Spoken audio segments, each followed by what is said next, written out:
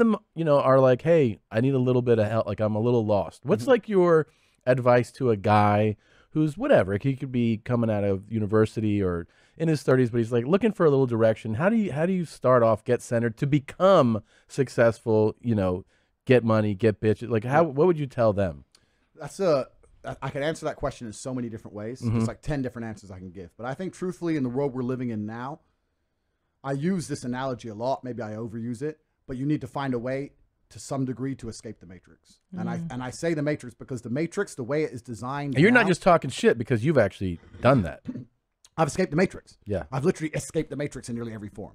So any form of oppression no longer applies to me. I'm uncancel. I can't be canceled. No, I can say what I want. My finances are secure. I've escaped the matrix. And when I talk about the matrix, it primarily applies to men because men are the backbone of the slave force. We always have been and always will be. And unfortunately, now, if you're a law-abiding man inside the matrix, your future and the life that is laid out for you is nothing but depressing. You're going to go to school. You're going to get in debt. You're going to get a job. You're going to get a wife. Divorce is coming. You're going to lose the house eventually. Your job's shit. Inflation's outpacing your wages. You're going to work, work, work. No one's going to appreciate it. Now you're old and your life's over. That is the matrix for 99% of men. And you need to find a way to escape it. And I guess I was kind of fortunate from a young age. I always knew that the matrix was coming and that the system is designed to oppress.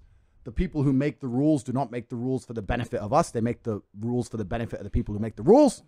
And I knew that. And I think every person intrinsically knows that. Like if it's four in the morning and you're sitting in a gas station and a Lambo pulls up, you're probably thinking drug dealer or criminal. You're not thinking, oh, he definitely went to school.